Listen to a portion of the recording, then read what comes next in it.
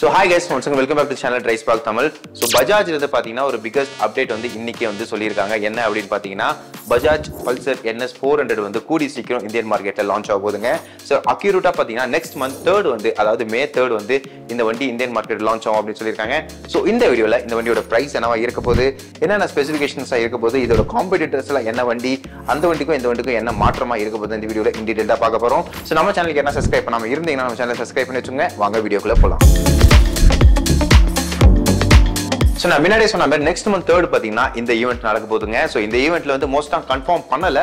இருந்தாலும் Bajaj Pulsar NS four hundred வந்து launch ஆகக்கூடும் அப்படின்னு எதிர்பார்க்கப்படுது. So Bajaj auto managing director என்ன சொல்லியிருக்காரு அப்படின்னு பார்த்தீங்கன்னா உங்களுக்கு ஒரு பிகெஸ்ட் அப்டேட் உங்களுக்கு காத்துக்கிட்டு இருக்கு அப்படின்னு சொல்லியிருக்காரு பல்சர்ல இருந்து. ஸோ மோஸ்ட்டாக பார்த்தீங்கன்னா பல்சர் வந்து அப்கிரேட் பண்ணி தான் இவங்க லான்ச் பண்ண போறாங்க அப்படின்னு எதிர்பார்க்கப்படுது. ஸோ ஏன் அப்படின்னு பார்த்தீங்கன்னா பஜாஜ்ல இருக்கிற என்எஸ் டூ ஹண்ட்ரட் வந்து இந்தியாவில் மோஸ்ட் பாப்புலர் பைக் தாங்க சொல்ல முடியும். ஏன்னா இந்த அந்த ஒரு ரேஞ்ச் வித்தின் டூ லேக்ஸ்க்குள்ள இவங்க அவ்வளோ பவராக இருக்கட்டும் மைலேஜ் எஃபிஷியன்சியாக இருக்கட்டும் எல்லாமே வந்து தாறுமாறாக கொடுத்துருந்தாங்க. ஸோ அது மூலியமா தான் இவங்க இந்த Bajaj Pulsar NS four hundred வந்து இந்தியன் மார்க்கெட்டில் லான்ச் பண்ண இருக்காங்க. ஸோ நான் பார்த்தீங்கன்னா ஒரு அஞ்சு முக்கியமான ஒரு சேஞ்சஸ் கொண்டு வந்திருக்கேன். ஸோ அந்த அஞ்சு முக்கியமான சேஞ்சஸை ஒன் பை ஒன்னாக இப்போ நம்ம பார்த்துருவோங்க.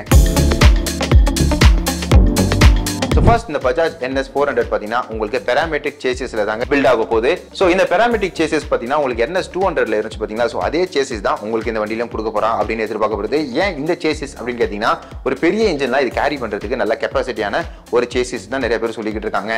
ஸோ அந்த மூலியமா நம்ம என்எஸ் டூ ஹண்ட்ரட்ல என்ன சேசிஸ் கொடுத்துருந்தாங்களோ அதே தான் இந்த என்எஸ் ஃபோர் ஹண்ட்ரட்லையும் இருக்க போகுது அப்படின்னு எதிர்பார்க்கப்படுதுங்க. ஸோ அடுத்து பார்த்தீங்கன்னா இந்த வண்டியோட பர்ஃபார்மன்ஸ் தாங்க. பர்ஃபார்மன்ஸை பொறுத்த வரைக்கும் சிசி நான் முன்னாடி சொல்லிடுறேன். ஃபோர் ஹண்ட்ரட் சிசினா ஃபோர் ஹண்ட்ரட் சிசி வராது. த்ரீ செவன்டி த்ரீ சிசி இருக்கும் அப்படின்னு எதிர்பார்க்கப்படுது. ஸோ நீங்க டாமினார் ஃபோர் ஹண்ட்ரட் எடுத்துக்கோங்க. அதே மாதிரி நீங்க கேடிஎம்ல இருக்க த்ரீ நைன்டி மற்றும் ஆர்சி த்ரீ நைன்டினா இந்த இன்ஜின் தான் இருக்கு. ஸோ இந்த வண்டியிலும் இதே சிசி தான் இருக்கும் அப்படின்னு எதிர்பார்க்கப்படுதுங்க. ஸோ அடுத்தது பார்த்தீங்கன்னா இந்த வண்டியோட பர்ஃபார்மன்ஸை பத்தி பேசிடுவாங்க. ஸோ இது காம்படிட்டரா இருக்கிற டாமினாரா இருக்கட்டும். அதே மாதிரி பார்த்தீங்கன்னா நம்மளுக்கு கேடிஎம் த்ரீ நைன்டி மற்றும் ஆர்சி த்ரீ நைன்டி ஸோ இந்த மூணு வண்டியுமே பார்த்தீங்கன்னா ஆல்மோஸ்ட் சேம் இன்ஜின் கெப்பாசிட்டியோட தான் இருக்கு. த்ரீ செவன்டி த்ரீ சிசி இருக்கும் அப்படின்னு எதிர்பார்க்கப்படுது. சிங்கிள் சிலிண்டர் இன்ஜின் தான் இருக்கும் அப்படின்னு எதிர்பார்க்கப்படுதுங்க. ஸோ பவரை பொறுத்த வரைக்கும் பார்த்தீங்கன்னா உங்களுக்கு டாமினாரில் ஃபார்ட்டி பிஎஸ் கொடுத்துருக்காங்க. Thirty five newton metre of torque Dominar four ஹண்ட்ரட்ல இருக்கு. ஸோ அதே கேடிஎம் பைக்ஸ்லாம் பார்த்தீங்கன்னா உங்களுக்கு வந்து forty three point five PS உங்களுக்கு கொடுத்துருந்தாங்க. Thirty seven newton metre of torque உங்களுக்கு அந்த வண்டியெல்லாம் கொடுத்துருந்தாங்க. பட் ஆனால் இந்த பஜாஜ் பல்சர் என்எஸ் ஃபோர் ஹண்ட்ரட்ல பார்த்தீங்கன்னா உங்களுக்கு டாமினாரோட கொஞ்சம் அதிகமாகவே இருக்கும் அப்படின்னு எதிர்பார்க்கப்படுது. ஸோ மேபி நம்ம கேடிஎம்ல இருக்கிற பவராக கூட இருக்கிறதுக்கு நிறைய வாய்ப்புகள் இருக்குங்க. ஸோ மூணாவது விஷயம் பார்த்தீங்கன்னா இந்த வண்டியில் வந்து ஸ்லிப்பர் மற்றும் அசிஸ்ட் கிளச் உங்களுக்கு தரப்போறாங்க. நம்ம கேடிஎம்ல பைக்ஸ் எப்படி இருந்துச்சோ அதே மாதிரி பட் ஆனால் இதுல வந்து குவிக் ஷிஃப்டர் தரப்போறது கிடையாதுங்க. ஸோ ஏன் அவங்க தரமாட்டாங்க அப்படின்னு பார்த்தீங்கன்னா காஸ்ட் கட்டிங் தான். ஸோ இந்த வண்டி பார்த்தீங்கன்னா உங்களுக்கு வந்து ரொம்ப அஃபோர்டபுளான ஒரு பிரைஸ் ரேஞ்சில் தான் லான்ச் ஆக போகுது.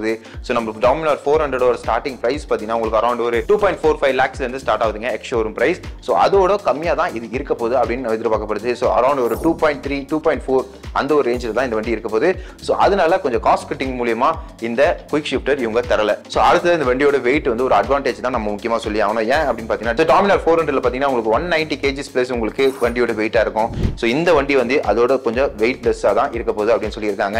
ஏன் அப்படின்னு பார்த்தீங்கன்னா பாடி வந்து கொஞ்சம் சின்னதாக இருக்க போதுங்க which is compare to Dominar four hundred so additional ஃபீச்சர்ஸாக பார்த்தீங்கன்னா இந்த வண்டியில் வந்து யூஎஸ்டி ஃபோக்ஸ் உங்களுக்கு தர போகிறாங்க டியூல் சேனல் ஏபிஎஸ் உங்க இந்த வண்டியில் உங்களுக்கு வந்துட போதுங்க ஃபுல் டிஜிட்டல் இன்ஸ்ட்ருமெண்டல் கன்சோல் கொடுக்க போகிறாங்க வித் ப்ளூடூத் கனெக்டிவிட்டியோட ஸோ அந்த ப்ளூடூத் கனெக்டை யூஸ் பண்ணி நீங்க டர்ன் பை டர்ன் மேக்வேஷனும் நீங்க இதுல ஆன் பண்ணி வச்சுக்கலாம். ஸோ மேப் யூஸ் பண்றதுக்கு இது நல்ல ஒரு ஆப்ஷனா இருக்கும். கடைசியா பாத்தீங்கன்னா இந்த வண்டியோட பிரைஸ் தாங்க. நான் முன்னாடி சொல்லியிருந்தேன் இது காம்படிட்டர்லாம் பாத்தீங்கன்னா நம்ம டாமினார் ஃபோர் ஹண்ட்ரடா இருக்கட்டும். ஸோ அதே மாதிரி கேடிஎம் பைக்ஸாக இருக்கட்டும். அது தவிர நம்மளுக்கு வந்து ட்ரைம்ப்ல வந்து ஸ்பீட் ஃபோர் ஹண்ட்ரட் மற்றும் ஃபோர் ஹண்ட்ரட் எக்ஸ் இந்த எல்லா வண்டியோட கம்பேர் பண்ணும்போது இதோட பிரைஸ் வந்து ரொம்ப கம்மியாக தாங்க இருக்க போகுது. ஸோ அரௌண்ட் பாத்தீங்கன்னா ஒரு டூ பாயிண்ட் த்ரீல இருந்து டூ பாயிண்ட் ஃபோர் லேக்ஸ்ல இருந்து ஸ்டார்ட் ஆகும் அப்படின்னு எதிர்பார்க்கப்படுது.